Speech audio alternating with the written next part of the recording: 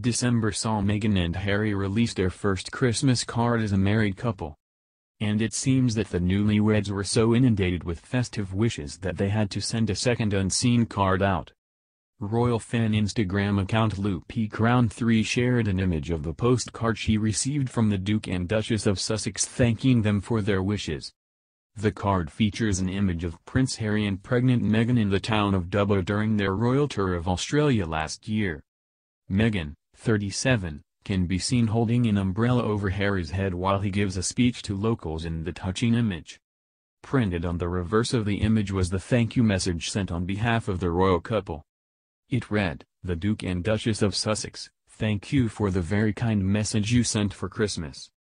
This was most thoughtful of you and greatly appreciated by their royal highnesses who send their best wishes for Christmas, and for the new year. Sharing the card on Instagram, Loopy Crown 3 wrote, Lovely reply from TRH the Duke and Duchess of Sussex thanking me for sending my Christmas and New Year wishes. This is the Duke and Duchess' second official card of the season having sent their first Christmas card back in December.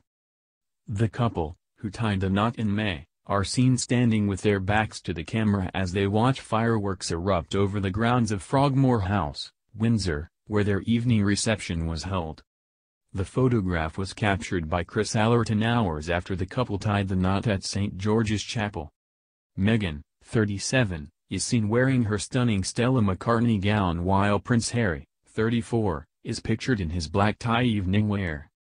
The dramatic black and white shot was praised by supporters, with one writing, this makes a great holiday card gives you a new year kind of feeling.